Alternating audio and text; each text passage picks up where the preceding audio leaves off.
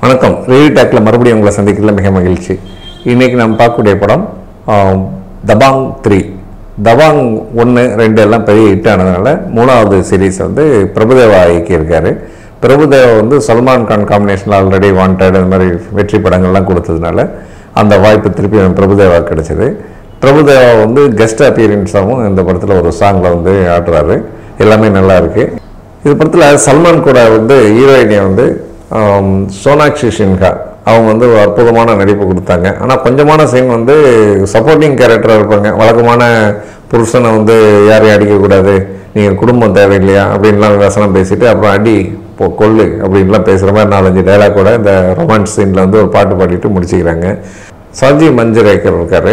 அப்புறம் ஃபஸ்ட் ஸ்டாப்பில் ஹீரோயினி வந்து சசி அந்த கேரக்டர் வந்து மிக பிரமாதமாக பண்ணி அவங்க வந்து சுதீப்புக்கும் கிடைக்காத ஒரு காதலியா? எனக்கு கிடைக்காத காதலி அவளை வந்து நான் அவளை உண்மையாக லவ் பண்ணுறேன் ஆனால் நீ வந்து அவளை தொடரும்போதெல்லாம் உன் ஞாபகம் வரும். அதனால் எனக்கும் வேணாம் அப்படின்னு சொல்லி முடிஞ்ச நீ காப்பாற்றிக்கோ எனக்கு அவள் காதலி வேண்டாம். உன் காதலி வேணாம் நீ காப்பாற்றிக்கன்னு சொல்லிட்டு சுதீப் ஒரு சேலஞ்சிங்கான ஒரு கில்லிங் பண்ணுவார். அந்த கில்லிங் வந்து ரொமான்ஸ் இவருக்கும் எமோஷனும் எல்லாம் கலந்து கட்டி அந்த சீன் பண்ணியிருப்பாங்க. அந்த சீன் ஒன்று தான் ஃபஸ்ட் ஹாப்பில் பிரமாதமாக இருந்தது. அலோக் உபத்யாயா. அவர் ஒரு ஸ்க்ரீன் ப்ளே பண்ணியிருக்காரு. கூடவே வந்து சல்மான் கானும் ஸ்க்ரீன் ப்ளேயில் மெயினாக ஒர்க் பண்ணியிருக்காரு. அதனால் இது ஒரு சல்மான் கானுடைய ஒரு ஹீரோயிசமான படமாக இந்த படம் வந்திருக்கு. தவாங் ஃபஸ்ட்டு பார்ட் ஹிட்டுக்கு பார்த்தீங்கன்னா அது முழுக்க முழுக்க ஒரு ஆக்ஷன் காமெடி காமெடின்ற ஒரு டைப்லேயே வந்து அந்த போலீஸ் ஹேண்டில் பண்ணியிருப்பாங்க. அதே பாடி லாங்குவேஜ் அதே மாதிரி ஆக்ஷன் காமெடி எல்லாம் ஃபஸ்ட்டு படம் ஸ்டார்ட் ஆகுது. ஸ்டார்ட் ஆனாலும் பிரபுதாவோட வழக்கமான ஸ்டைல் வந்து உள்ள வந்து கொஞ்சம் கொஞ்சமாக கதையில் நம்மளை வந்து இன்வால்வ் பண்ணி அந்த கதையோட நம்மளை ஒன்றை வச்சு ஒரு கிளைமேக்ஸை கொடுக்குற அளவுக்கு இந்த படத்தை பண்ணியிருக்காரு. ஆக மொத்தம் படம் எப்படி இருக்குன்னு பார்த்தோம்னா படத்தில் வந்து ஒரு பெரிய ஈடுபாடோ ஒரு இம்பாக்டோ இருக்கிற மாதிரி தெரியல. ஆஸ் யூஸ்வல் வழக்கமான சினிமா கமர்ஷியலான சீன்கள்லாம் அங்கங்கே பொறுக்கி பொறுக்கி வச்சு படத்தை உப்பேற்றின மாதிரி தான் தெரியுதே தவிர இந்த படம் வந்து ஒரு ஜனரஞ்சகமாக நம்ம ரசிக்கலாமா அப்படிங்கிற போது தபாங் ஒன்று இருந்த அளவுக்கு இல்லை. ரெண்டு இருந்த அளவுக்கு இருக்கானா அதுவும் இல்லை. ஒன்று பார்த்தீங்கன்னா தெலுங்குலேயும் சூப்பர் டிப்பர் டூப்பர் ஹிட் ஆச்சு. தமிழில் வந்து சிம்பு பண்ணி அது வந்து டப்பா டான்ஸ் ஆடிச்சுன்ற அளவுக்கு தான் அந்த படம் இங்கே இருந்தது.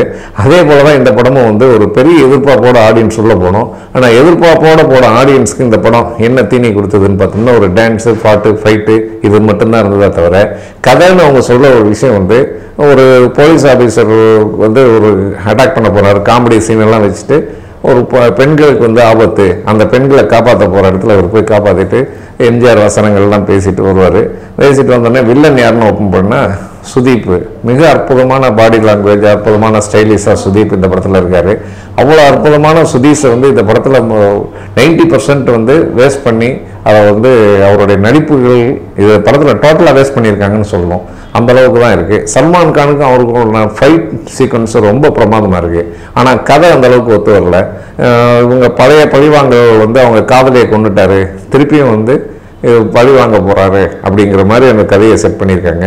இவர் போலீஸ் ஆஃபீஸரும் அவர் அரசியல்வாதியாகவும் வந்து மோதி கடைசியாக வந்து ஆஸ் யூஸ்வல் அவர்மம் ஜெயிக்காது. தர்மம் தான் ஜெயிக்கும் அப்படிங்கிறத நிலைநாட்டுற ஒரு படமாக இந்த படத்தை கொடுத்து முடிச்சிருக்காங்க. பொதுவாக ரசிகர்களுடைய மனப்போக்கு எப்படி இருக்கின்றதுன்னா இந்த படத்தை மிக எக்ஸ்பெக்டேஷனோட இந்தியா ஃபுல்லாக ஓப்பன் ஆச்சு. பெரிய அளவுக்கு வந்து அவங்க எக்ஸ்பெக்டேஷனை ஈடு கொடுக்காத அளவுக்கு தான் படம் எடுத்திருந்தாங்க. பிரம்மாண்டம் செட்டு எல்லாமே இருந்தாலும் பாட்டு எல்லாமே இருந்தாலும் ஏதோ மிஸ் ஆகிற மாதிரி தான் இந்த படத்தில் இந்த படம் பண்ணியிருக்காரு. இனியும் சல்மான் கானுடைய ஸ்க்ரீன் பிளேவை அலோக் உபாத்யாயா அவருடைய ஸ்க்ரீன் பிளேவையும் எடுத்து பிரபுதேவா இந்த அளவுக்கு அவருடைய வழக்கமான ஸ்டைலில் தட்டி மெருகேற்றி டிங்கரிங்லாம் பார்த்து இந்த படத்தை கொடுத்துருக்காருன்னு சொல்லலாம். மற்றபடி இந்த படம் எப்படி இருக்குன்னு பார்த்தா ஆஸ் யூஸ்வல் சல்மான் கான் படத்துலேயும் கொஞ்சம் வித்தியாசமான சுமாரான படமாக இது அமைஞ்சது. மிக வருந்தக்கூடிய விஷயம். நன்றி வணக்கம். Like share and subscribe to Smiley Ramesh